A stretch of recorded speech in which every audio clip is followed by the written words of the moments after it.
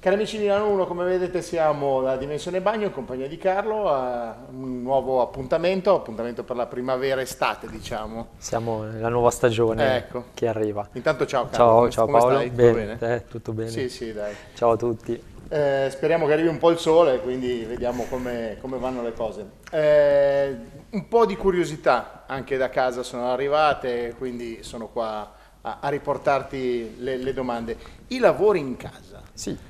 C'è una stagione particolare? È meglio farli d'inverno, d'estate? Ma diciamo che i lavori si possono fare durante tutto l'arco dell'anno. Ovviamente il cliente preferisce la stagione primaverile estiva perché comunque i lavori comportano l'apertura di finestre, il passaggio degli operai all'interno dell'ambiente e la temperatura esterna un pochettino più calda e piacevole aiuta a mantenere all'interno della casa eh, non freddo come succederebbe invece in inverno nel caso in cui si lasciassero tutti gli infissi aperti. Quindi diciamo che il periodo eh, predominante per i lavori nelle ristrutturazioni è dall'inizio della primavera, un po' prima, quindi fine dell'inverno, eh, per tutto il periodo estivo, poi comunque si continua anche durante la, la stagione invernale, un po' meno ma Senti, un'altra cosa che chiedono gli amici da casa sono l'importanza di un progetto. È basilare, giusto? Assolutamente sì, soprattutto nella ristrutturazione il progetto è il fondamento su cui si basa poi fisicamente il lavoro, quindi l'impresa scopre dal progetto quali sono le lavorazioni che deve fare, gli spostamenti degli impianti, il posizionamento di, della, proprio degli impianti stessi, quindi dal progetto si riescono a capire gli spazi che ha a disposizione il cliente e da quello poi eh, si parte con uh, quelli che sono gli inserimenti dei materiali, dei prodotti e eh, dal progetto è quello che scaturisce poi la, il lavoro effettivo. Quando si parla di tendenze eh, c'è sempre questa tendenza minimalista, il grigio, il bianco, il nero o è cambiato qualcosa? Ma quello diciamo che è sempre un must, uh, si sta andando più verso una tendenza un po' più colorata, quindi i colori naturali grigio e i colori tendenti al sabbia ci sono sempre, eh, però stanno iniziando a entrare nell'ottica della, della, clientela, comunque della, di chi usufruisce poi del cambiamento piastrelle, dei cambiamenti all'interno della, della, casa, colori un pochettino più pastello, quindi gli azzurri, i rosa e i verdi che la fanno ancora più da padrone, eh, quindi si sta iniziando a introdurre questo tipo di, di, di tonalità anche nell'arredamento stesso, quindi si trovano finiture sia nella, nella, nel mobile vero e proprio del bagno, ma vediamo anche nelle riviste la stessa cosa si trova nelle zone giorno, quindi soggiorni, sale, camere da letto, cucine, anche esse che stanno spostando le tonalità dal classico bianco, grigio, nero a colori un pochettino eh, più accesi, diciamo così. Hai accennato al discorso delle riviste e anche eh, si parla spesso di richieste di high tech dentro la ristrutturazione della propria casa.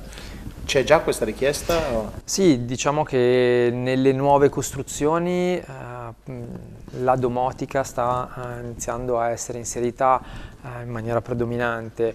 Eh, ci sono ancora dei costi magari un pochettino elevati, l'ambiente bagno ne risente meno, quindi diciamo che nel nostro caso eh, ci sono pochi, ambienti, pochi elementi che hanno eh, necessità di high tech, possono essere i caloriferi, quindi magari l'impianto di riscaldamento da poter regolare con eh, il, il telefonino, con le app che ci sono a disposizione eh, o magari specchi con all'interno delle caratteristiche di illuminazione o tecnologiche come l'inserimento della radio, della, del bluetooth che possono comunque andare a incuriosire il cliente e avere quella mh, aggiunta dell'high tech all'interno del bagno. Si parla anche spesso e molto eh, del rispetto della natura, rispetto dell'ambiente.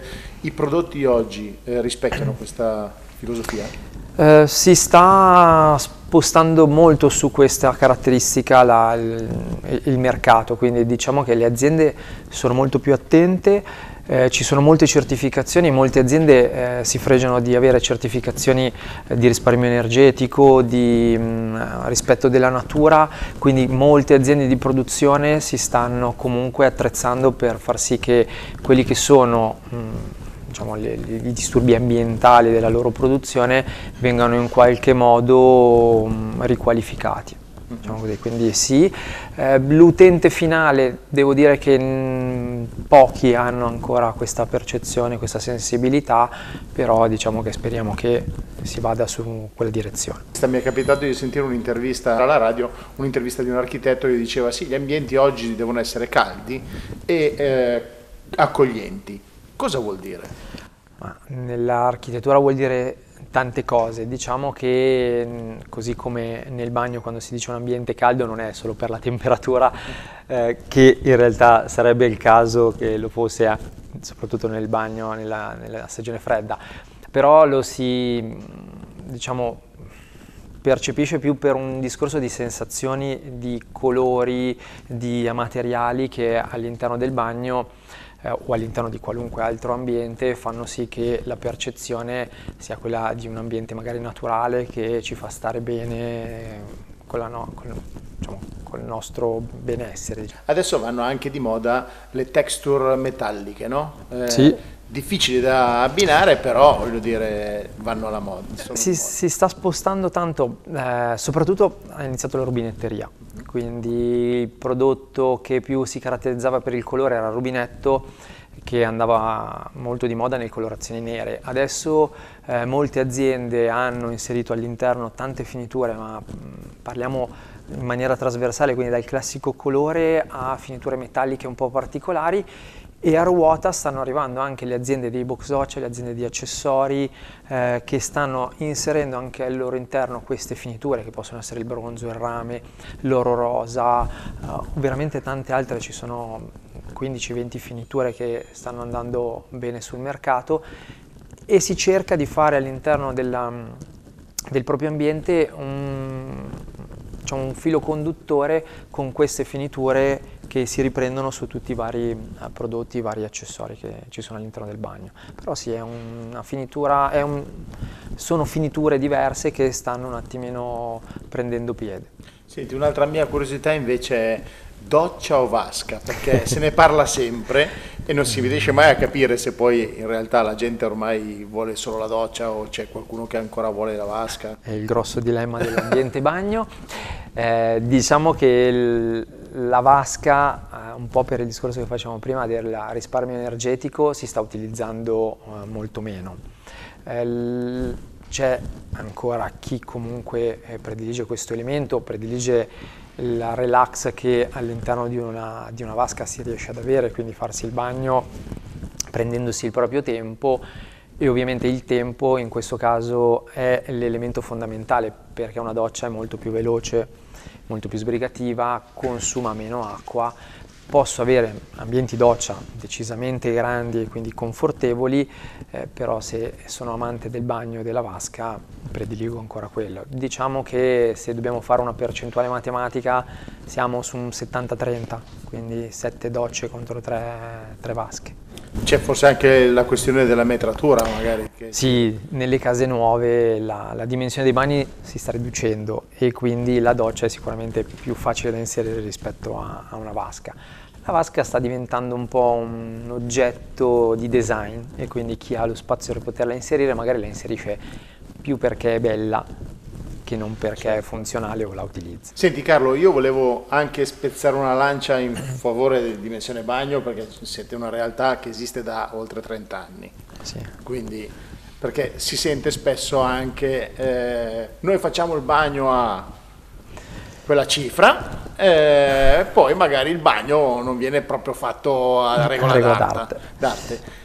Eh, il vostro servizio è un servizio a 360 gradi, dal sì. progetto a seguire il cliente, cioè, però mm, dicelo tu. Perché... Noi forniamo il pacchetto completo, quindi per noi la, il cliente viene seguito dall'inizio, quindi dalla presa misure, magari si presenta in showroom con una piccola bozza di quelle che sono le misure eh, che servono e sono necessarie per iniziare il discorso col cliente, capire la dimensione del suo bagno, iniziare a fargli un progetto, un preventivo che poi comunque viene diciamo, verificato dal nostro tecnico che esce in, in, casa del cliente, verifica le misure e da lì eh, si mette giù il progetto esecutivo che poi la nostra impresa eseguirà all'interno della, della casa del cliente, sempre seguito però dal nostro tecnico che giornalmente eh, segue il lavoro e quindi verifica quelle che sono eh, le istruzioni da dare all'impresa, ma anche comunque la consecuzione delle lavorazioni e delle manodopere che devono entrare all'interno della, della casa del cliente. Eh, Carlo ha detto showroom, eh, io vi invito a venire personalmente a vedere lo showroom perché è un signor showroom, io penso che una scelta del genere siete in pochi ad averla, penso in Italia, non è che...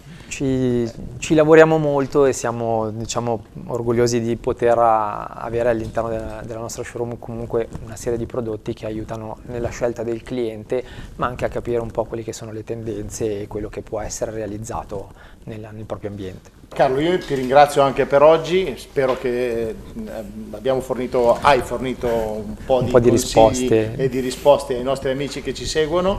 Eh, ci vediamo alla prossima ovviamente, però filmato poi è sempre disponibile, c'è il podcast, siamo anche sulla web radio, quindi ci siamo sempre. Eh, grazie Carlo, ricordiamo eh, Dimensione Bagno, Pessano con Bornago, via Inaudi 34. Telefono? 02 9574 0004 o il sito che è dimensionebagno.it. Ciao a tutti, ci vediamo alla prossima. Ciao.